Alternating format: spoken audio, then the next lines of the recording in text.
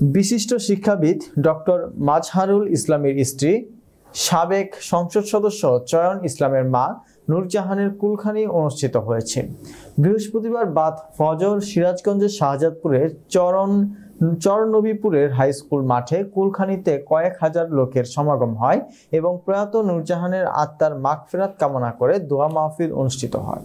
দোয়া মাহফিলে উপস্থিত ছিলেন মরহুমা নূরজাহানের সন্তান সাবেক সংসদ সদস্য ও যুবলীগের সাবেক প্রেসিডেন্ট সদস্য জনাব চয়ন ইসলাম ও আওয়ামী লীগের কেন্দ্রীয় কমিটির সদস্য মেরিনা জাহান কবিতা সহ গণ্যমান্য ব্যক্তিবর্গ।